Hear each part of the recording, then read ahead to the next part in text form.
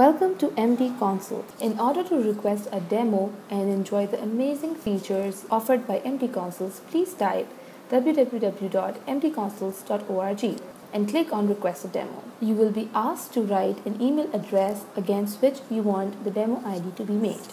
Once you add this demo ID, a license code will be sent to you. You need to check your inbox in order to find that email where you can see the reference code that has been sent to you and you can complete the process by clicking on signing up. You will be asked to fill up few fields in order to complete the sign up process. That include full name, username, password, confirm password, and a choice of roles among patient and health provider that you may select according to your own preference. Once you've read all the terms and conditions and complete your signing up process, there you go with the sign up screen.